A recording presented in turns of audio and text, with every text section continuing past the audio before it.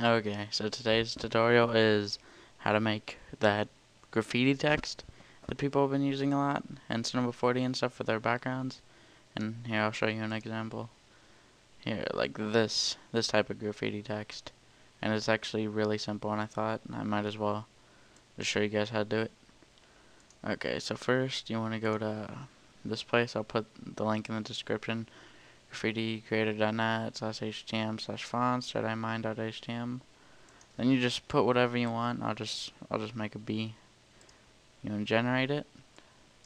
Then if you have this on your computer just type in type it in snipping tool. You can there's other ways to do it but this just seems like the easiest. And then just go highlight over it just this part save it to wherever you want to Okay. Now, you want to take this picture and you want to drop it into Photoshop. Okay. Then all you want to do is you want to take this magic wand tool, go over here, just click it, and you want to go to paths, and this little circleish thing two hours coming off and make work path from selection. You want to do that. Then you want to go to File, Export, Path to Illustrator. Okay. Save it. Let me just close out of that now. Then you want to go to Cinema. And then merge. Let me find it. Here it is, capture.ai. That's what it'll be. And you have to export to Illustrator just because, I don't know why. You have to do that just to get stuff like that in Cinema. It's kind of weird.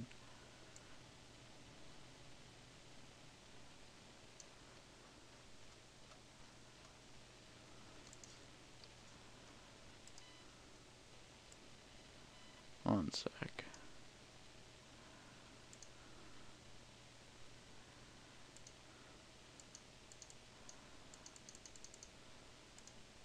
There we go. Looks like I just had to change the settings a little. Kind of messed up. Okay, well let me put my render back on my render settings so it's 16 by 9. Okay, now, but now that you got that in there, you got your one, then you want to go to extrude NURBS, make this a child of that, then it's already 3D, and might as well go to extrude NURBS, movement, you want to go to this one and up it. I usually up it. Depends on how big it is since I guess that's pretty good.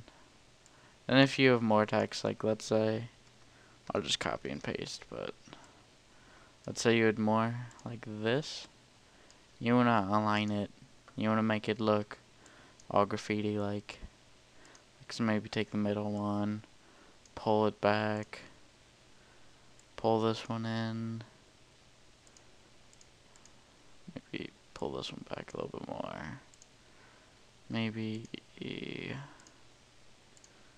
turn this one in or something.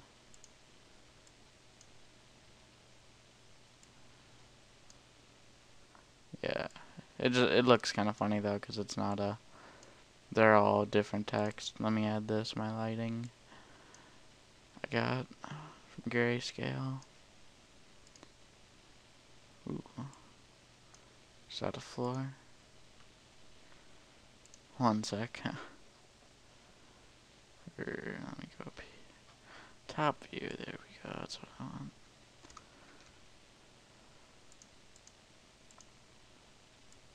There we go. Get some light, and yeah, this is pretty much just all the, just this simple 3D text. It's actually really easy, a lot easier than it looks. And then you can just add, let's just add nice color to it, I guess. Just show you guys what how I do my colors. Let's just do blue.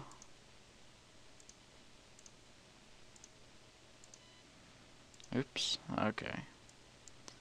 Let's do blue.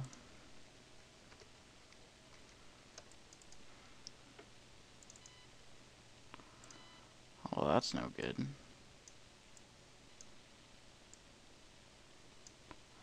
This doesn't want to work right now.